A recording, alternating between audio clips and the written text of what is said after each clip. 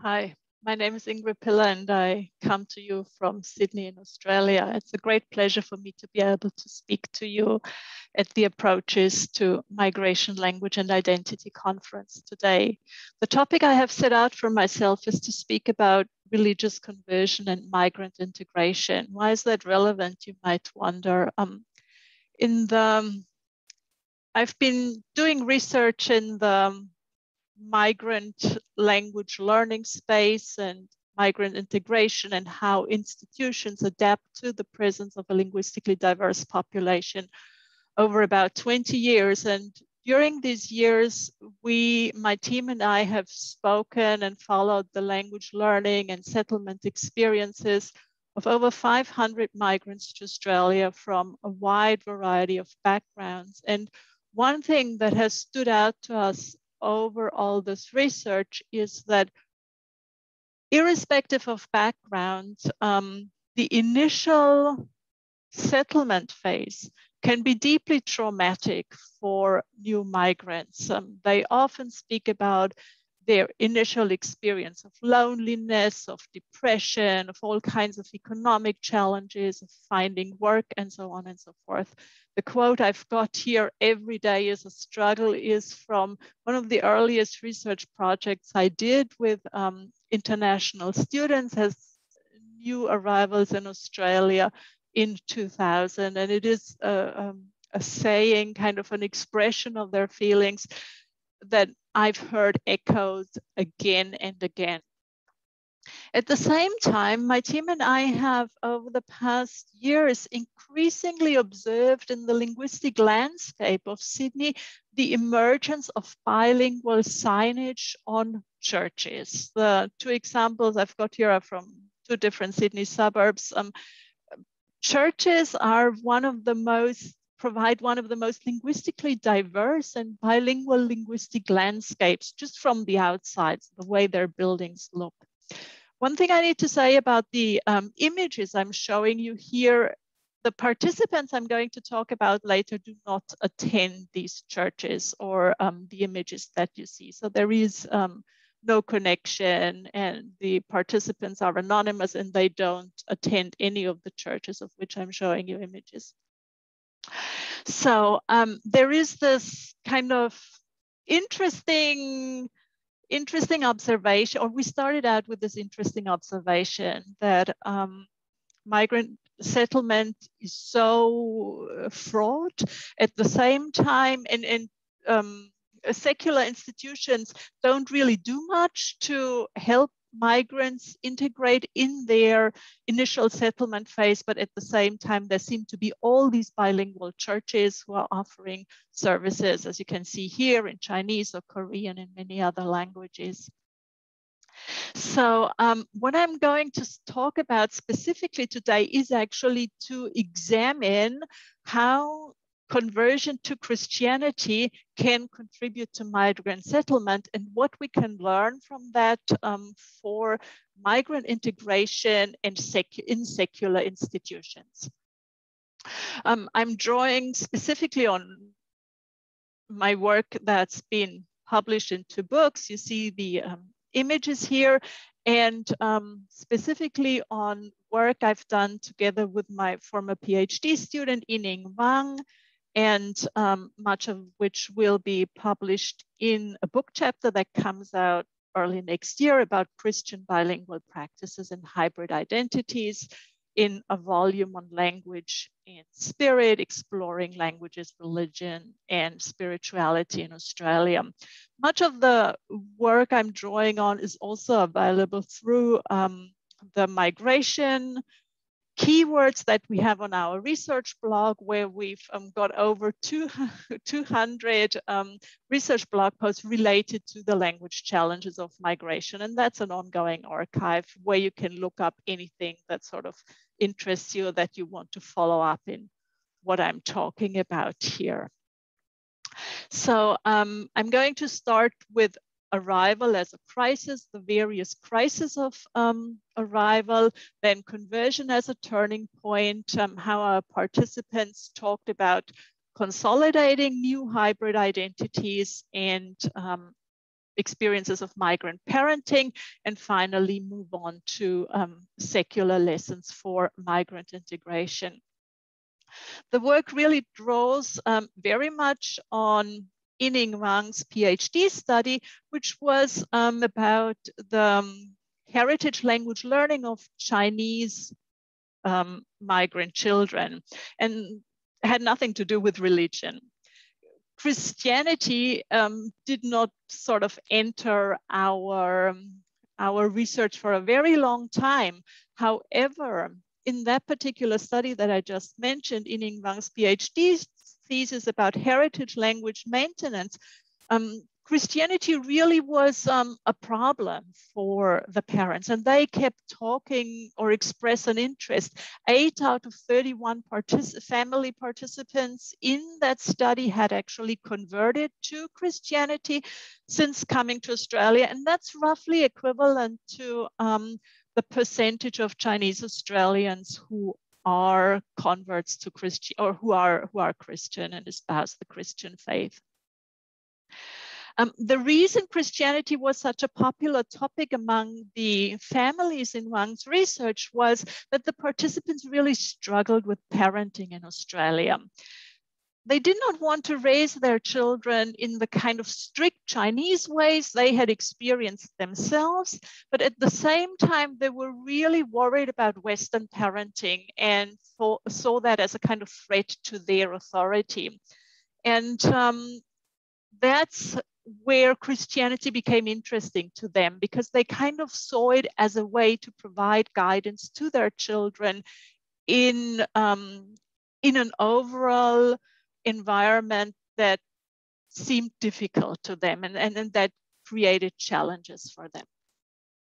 So the specific research we are drawing on here are um, families from that, from Wang's study, and then um, families we interviewed for another study um, that had to do with school, home school communication during the COVID-19 pandemic, and particularly during last year's school closures here in New South Wales. So in total, um, 57 Chinese family, we draw on the experiences of 57 Chinese families with school-aged children. And um, specifically for um, this presentation, we re-interviewed um, and spoke again with another, with five women in those studies, five, uh, no, excuse me, seven, seven um, women, seven mothers in these studies who um, specifically about their experiences of conversion, because as I said, that conversion and Christianity had not been a focus of our previous studies, but was something that loomed really large in both these studies.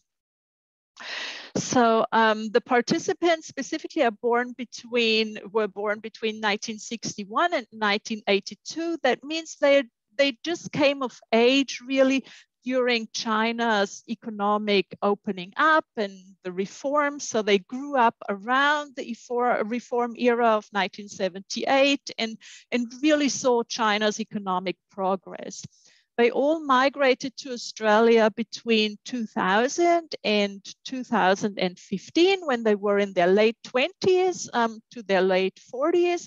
All of them are highly educated and hold at least a bachelor's degree, which they obtained in China. So um, prior to migration, all of them worked in professional roles in engineering, finance, IT, medicine, after migration, they all experience downward occupational mobility. And um, by the time of the, um, the specific religion-focused interviews in 2020, they had all been in the country for a minimum of five years and up to 20 years. Um, during that time, none of them had managed to reestablish themselves at the same kind of professional level that they had back in China. All of them um, had been raised as atheists in China, but converted to Christianity within the first few years of settlement in Australia. And um, in 2020, they attended a variety of Christian congregations, mostly of the, or all of them of a Pentecost, Pentecostal and evangelical persuasion. So let's now look at the crisis of the of arrival as they experienced them. So this group could be described um, as lifestyle migrants, if you will. Um, so in a sense, the people I'm talking about right now are probably among the most privileged migrant groups in terms of their class, in terms of their financial position, in terms of their education, in terms of the choice they have, including the choice to return their country of origin.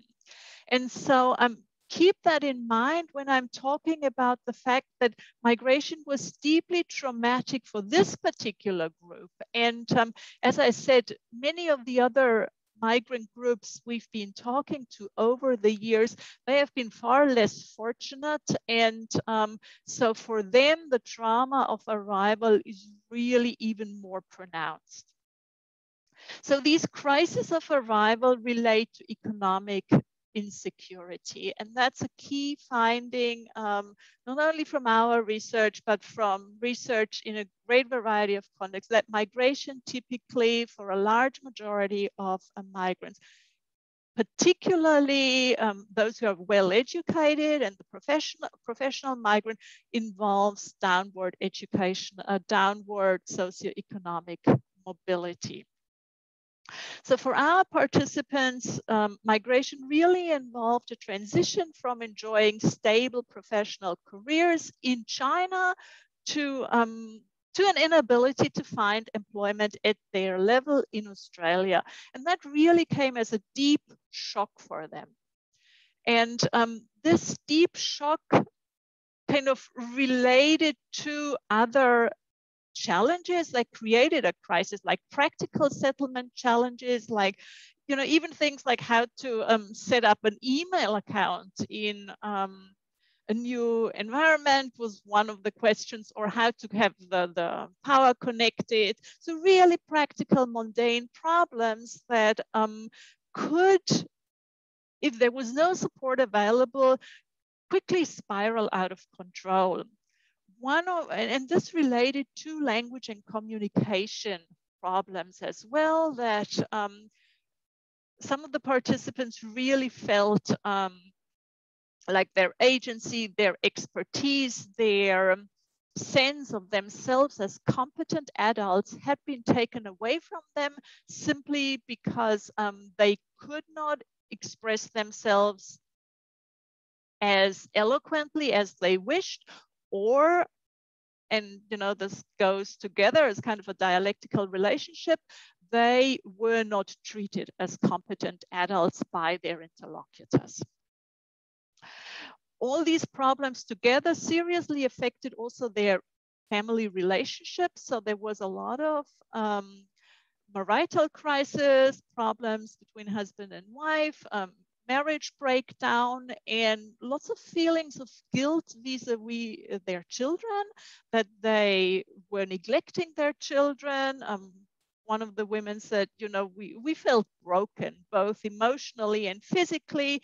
And um, because they then started a grocery store and had to work like lots long hours they said you know i, I felt so guilty because um, our child was so lonely so this existential crisis um, that migration and the initial settlement phase constituted for our participants um, was also the beginning of their religious seeking. And um, many of them used exactly the same phrase in Chinese, um, Ren de Jing Tao, which literally means the end of humans. It's like ultimate hopelessness. And, and, and when you experience ultimate hopelessness, the, the divine comes in, or um, it's the beginning of God, it's the beginning of their spiritual seeking. Um, now, as I said already, um, I, have showed you pictures of bilingual churches. Um, uh, at the same time, all over Sydney, you can also see lots of billboards where um, Chinese, where various churches advertise advertise their services or their congregations bilingually. So um, although I've just said, you know, that's the, uh, the end of humans, hopelessness is the beginning of spiritual seeking, all of our participants started their religious conversion journey actually um, as a as a practical matter, and they were readily to uh, readily admitted that they were not actually seeking God; they were seeking practical support in the crisis they were experiencing. They wanted to make new friends. They um, wanted to create new networks for themselves that could fill in the gap in networks and relationships and the loss of extended family that had been created through migration. And um, they spoke about their new churches really as family, as church brothers and church sisters. One of them said, When I go to church on a Sunday, I, I don't go to church, I go to see my family. And so church really became that new family. Um, the practical assistance that these church communities offered helped to build um, you know, supportive, trusting relationships, and they compensated partly for the loss of family and friendship networks. Um, one thing that the churches did and, and a service that they really appreciated was that um, churches mediated in marital conflict and um, like often the minister's wife, for instance, would reach out to couples and um, help them resolve difficulties. But not only the practical support really improved their relationships, um, it was also that um, their new belief systems helped them to improve their relationships. Um, for instance, one participant said, and I'll read that out to you, we were touched when we listened to the lectures on marriage. The minister said if both husband and wife consider themselves as God or goddess, they will fight to prove who is stronger, right?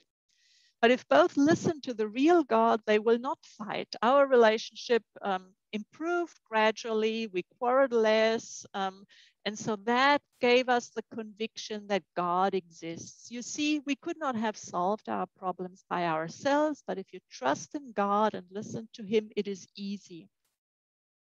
So many of the participants really credited their Christian beliefs with saving their marriage. And, and they kind of argued that, in fact, the strong position they had enjoyed as Chinese women or um, gender equality was one of the, of the problems that, that had created initial crises. And so um, there was a real gender transformation going on. When we had the book chapter, I mentioned to you that this is based on one of the um, peer reviewers said to us that actually the idea of male headship is not something that is apparent or that, that is mainstream Christianity these days. And for our participants, um, the idea of male headship was actually part of the transformation they experienced and something they felt they needed to accept to make their initial settlement or to make their settlement experience a positive one and to repair their family relationships. Um, and I have to add, this sounds like, um, you know, this might be a Christian thing. In fact, um, it's not only a, a pro, the, um, the, um, how should I call it, the challenge to gender equality that these migrants experienced when they came from China to Australia um, is not unique to these particular migrants and it's not unique to um, those who convert to Christianity or engage in any kind of religious practice.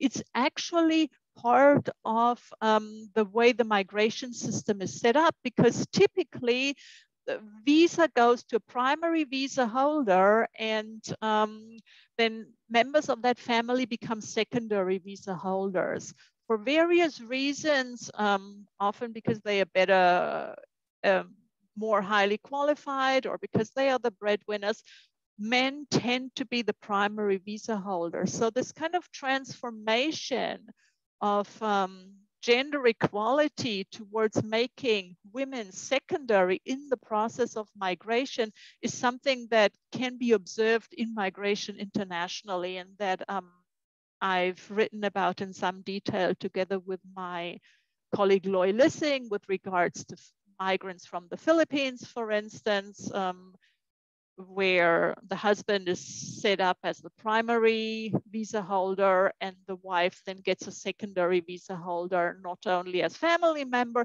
but also to work as a packer in the abattoirs we were investigating then.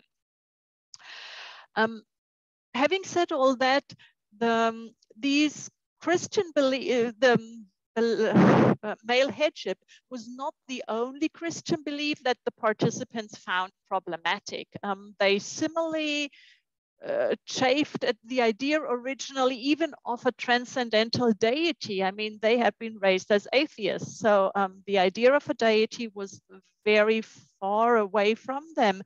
Um, so conversion really constituted a complete break with their strong socialization into atheism and um, a scientific worldview. One of the participants, for instance, said, I told the minister that I am an atheist and um, I believe in the Big Bang Theory as the beginning of the universe and I believe in evolution. These are the three cornerstones of my life. Um, even so,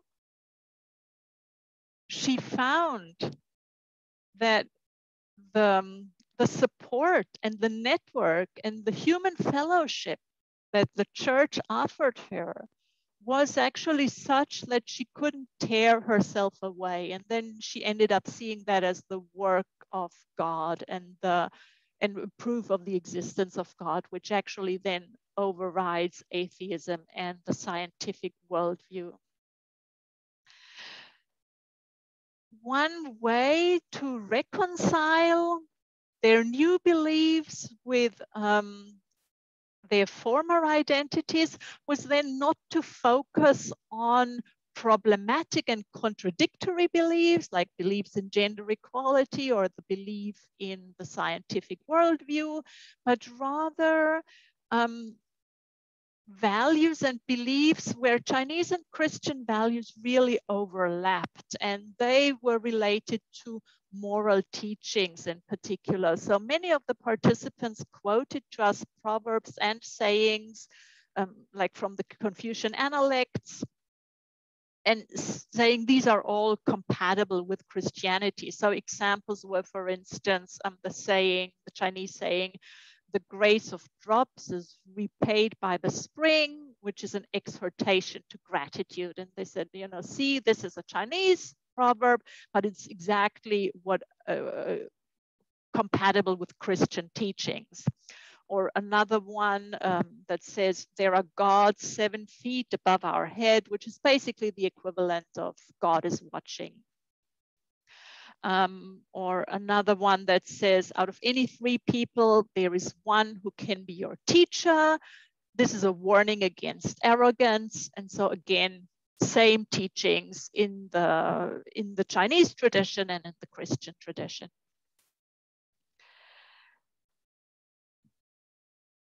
Overall, espousing these new beliefs and engaging with a new set of people, finding community within in the church resulted, as the participants put it, in a complete life transformation and one they experienced as highly positive and um, as strengthening them and as giving them a new outlook on life and um, making their settlement journey, their migration journey, but also their life journey, one that was successful and meaningful.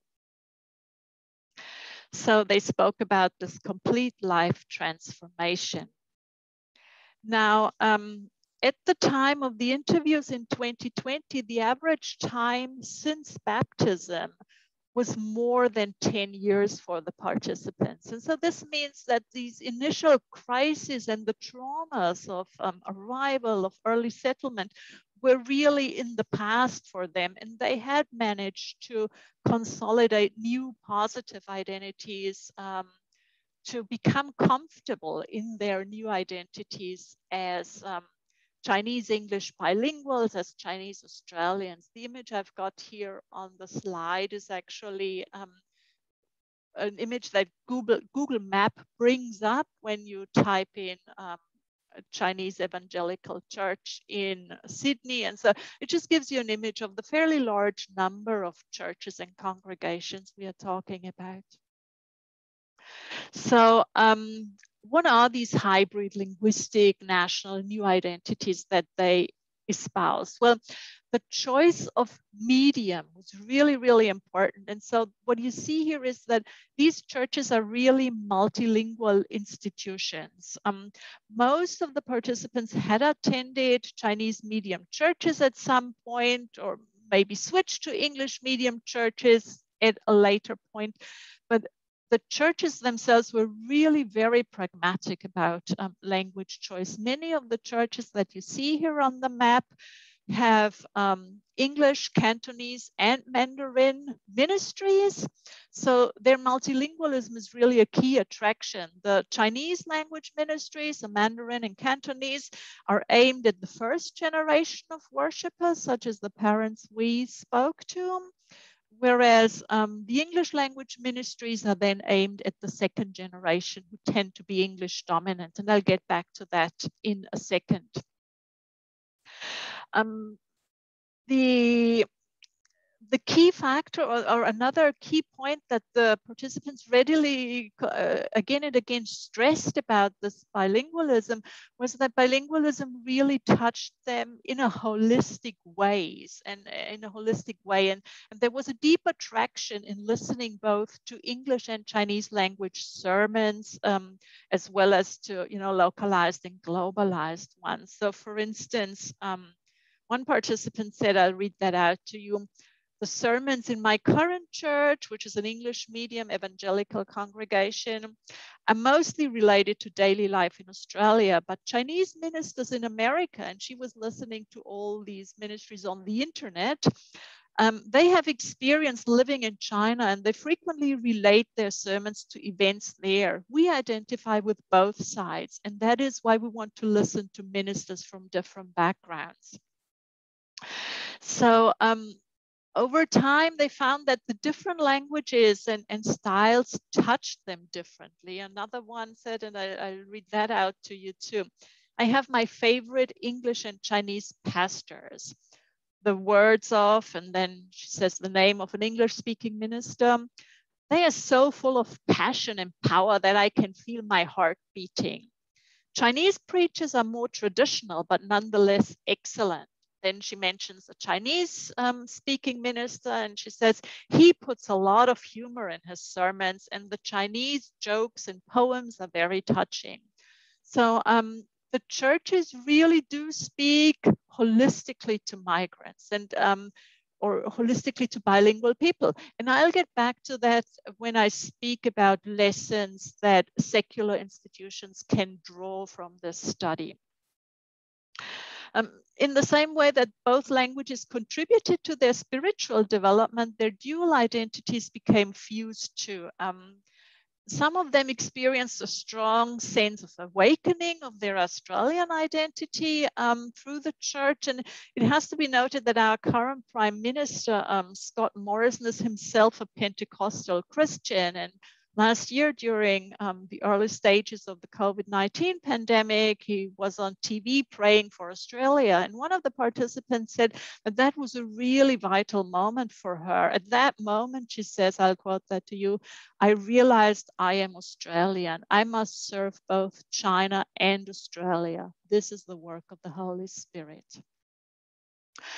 in some what we can see is that the successful that successful migration is ultimately a fusion of different national linguistic and religious identities. It's an integration of languages of identities of belief systems. And the churches facilitated that integration. They allowed our participants to find a comfortable space for themselves as first generation migrants in australia However, grounding the next generation in such a comfortable hybrid identity was much more complicated. And I'll now turn to migrant parenting. Now, the key background information that you need here is um, the English dominance of the second generation. Um, this is something that we found in a number of study we've done here and that really everyone who's ever done any research with um, migrant languages and heritage language maintenance has pretty much found and across ethno-linguistic groups that um, if not the second, the third generation is English dominance, even if bilingualism is maintained. And the, the um, language learning outcomes of um, the vast majority of families in this study was of English dominant children. In particular, the children usually did not know how to read and write in Chinese. So um, literacy was a really large barrier to them um, accessing the Chinese tradition and Chinese discourses. So even if they um, spoke the language orally and could communicate, they usually very rarely could write, read and write it um, high levels. And so the different linguistic repertoires of the parents and the children really often mean that parents and children in a migration context, context inhabit different discursive worlds. And there were gaps between the Chinese parents in quotation marks and their Australian children in quotation marks. Now, this could lead to major frictions, particularly in the teenage years. And um, parents found that, you know, their, their Chinese values and discourses um, with regard to complex topics related to growing up, related to a moral education, they, they really found it hard to um, reach their children this way. And so that's where the word of God came in quite handy because um, Christian values kind of became a way to infuse the desired moral values in their children and provide the kind of moral education they wish to provide, not only by providing a vocabulary that the different generations shared, but also through the community of the church, where raising children is or in the con- is shared in the congregation, if you will, where there were other young people, where there were role models that they could see their children aspire to and they were comfortable leaving their children like let them go on camp with other christian children for instance. Something they were not comfortable with the schools with the secular schools. Um, and the, the, the, key anxieties that the parents had were really related to um, sexuality, to um, drugs, and um, alcohol, and kind of what they saw as an overly promiscuous or, or liberal parenting style, a Western parenting style, and, and a Western education. So one participant, for instance, said about her 17-year-old son um, and why she wanted him and why she had educated him a Christian is if he fears God and has faith, we can use God's word to instruct him. Otherwise, children in Australia have too much so-called democracy, individual rights and freedoms. So um, Christianity was really an essential parenting tool. The most divisive issue really was around um, sexual orientation. And um, while same-sex uh, same-sex relationships enjoy equality before the law in Australia, and discrimination is illegal, and they are widely recognized, um, homosexuality was only decriminalized in China in 1997, and negative attitudes towards same-sex relationships are known to persist. And this kind of gap really caused our participants significant anguish um, and, and something they were worried about for their children. And they really did not see how they, they did not see a bridge in this in, in secular society between their concerns and um, what they saw as dangerous attitudes on the part of wider Australian society.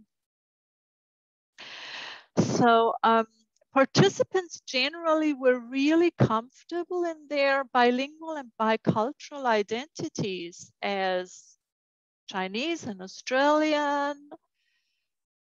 By the time we spoke to them, you know, a fairly long time into their migration journey, but at the same time, they really struggled to reconcile Chinese and Australian values, if you will, when it came to their parenting.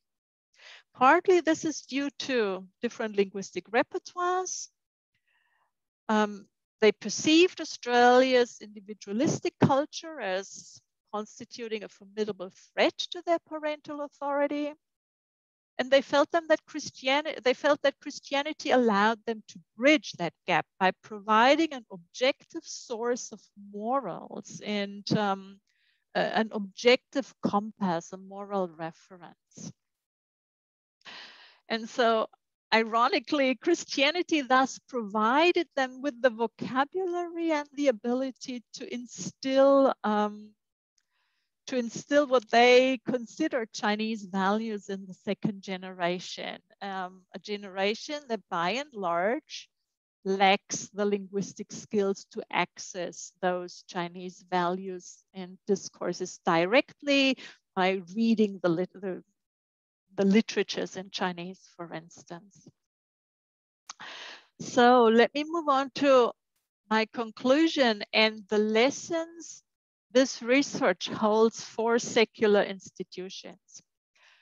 Um, one thing that I've stressed here is that the initial settlement phase is incredibly fraught and incredibly difficult.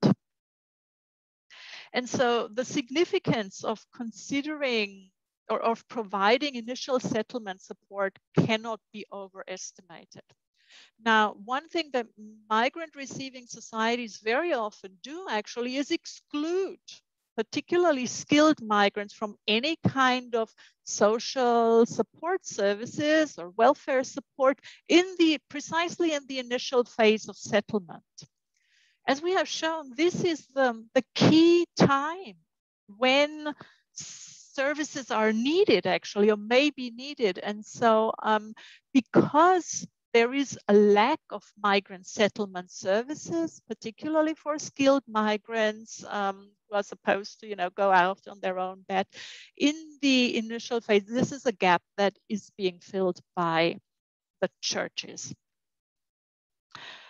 Um, and, and that really that, that really relates to a host of sometimes very mundane and, and small seeming practical matter matters um, related to things like you know how to get the power connected. But because these initial practical little difficulties kind of compiled and, and uh, were so many in the initial settlement phase they could spiral out of control. And that that was the fundamental problem. And then it really became a, a huge problem for their future trajectory. And so that's where the churches came in, and that's where we need migrant resource centers and migrant support services to come in and provide those kinds of practical levels of support, but also um, provide new opportunities to rebuild the networks and the family relationships that have been lost in the process of migration. So to provide new substitutes for human connection. So we really need to take seriously the, um, the initial settlement problems and the disorienting effects of having to establish new social networks from scratch as an adult. That is just really hard and people need help with that. And um, in contrast to secular institutions, which kind of say, you know, go, go and get out there. It's your own responsibility and this responsibilization that neoliberal responsibilization, if you will, that we see with secular services is something that the churches did not do and they welcomed and provide uh, welcomed these people and provided the kind of support and and gave them the fellowship they needed at that point in their lives now um, as i've shown this fellowship of course came at the price of a total identity transformation and at the price of accepting new beliefs new values um, uh, you know, conversion. It came at the price of conversion. And obviously, this is not something we should be expecting anyone to do. Um, uh, this should not, conversion should not be the price to pay for success that people have to pay for successful integration, if you will. Not everyone can become a believer or wants to become a believer. And um, here, what I've shown is that conversion and self-transformation really went hand in hand. Um, they had obvious benefits. They, they gave these people a comfortable space to live in, a comfortable new identity, a comfortable way to integrate into Australian societies. But um, of course, this practical settlement support and human fellowship cannot rest on um, conversion and on accepting a new belief system. So, um, what did these Christian congregations do in addition to welcoming these people with open arms, in addition to providing fellowships? The linguistic lesson here is that they were linguistically incredibly pragmatic. So, um, whether someone had high or low levels of proficiency in English was not a precondition to engage with the church. And um, on the contrary, as long as it didn't affect the overall doctrinal teaching, linguistically, the churches are incredibly pragmatic. And that stands in contrast to all our secular institutions which actually insist on the primacy of English. And, you know, from schools to universities to um, employment centers to workplaces, whatever it is, secular institutions, by and large, take they have a monolingual habitus, in the words of Ingrid Gogolin, they, they, they espouse English only, and thus really make it impossible for some people to actually get into the institution and, and become full-fledged members over time. So to overcome the monolingual habitus of secular institutions is another important lesson that we need to learn from these conversion stories that um, I've shared with you today. So the monolingual habitus of multilingual societies remains a key barrier in the secular space and one that you know the churches can very well do without they function very well without so why should um, secular institutions not be able to function equally well multilingually? There there in reality it works. That's what the churches show us. Multilingualism in an institution works. Linguistic inclusivity can work um, to the benefit of the institution and its members this is particularly a challenge with regards to schools, actually. So um, we've noted here persistent home school gaps. I mean, all parenting is challenging and, and migrant parenting may be even more challenging. But um, the, the, the gaps between parents and children really are to be, the blame for these gaps is to be put at the education, the Australian education system. And there are two blames here. One is um, the overall failure to develop the bilingualism of migrant children and to ensure that they have high levels of proficiency in both the societal language, in both English and in the heritage language. So that actually um, migrant parents are fully equipped to um, socialize their children into a comprehensive identity. So we have the failure to um, develop bilingual skills that creates a gap between parents and children. And then we have the failure to um, engage diverse parents. Now, parental engagement is such a key to um, education, ed educational success. However, um, as we've shown in other research, home homeschool connections are really built on English only, on the ability of parents to receive information in English and to engage with the school community in English. Where that is lacking, the, there's, there's such a barrier and that barrier really created or contributed at least to the fears that our participants had and, and the misapprehensions in many cases they had about um, the, the kind of Western education and the perils of Western education that they were so worried about. With that, um, I hope that you found this interesting. I will be very much looking forward to answering your questions and discussing this further. And um, I hope um, we'll be able to think more together about um, the, the kind of the, the many lessons that the, um, the way churches as institutions welcome new members hold for secular, uh, for secular institutions in a diverse society. With that, thank you very much for your attention.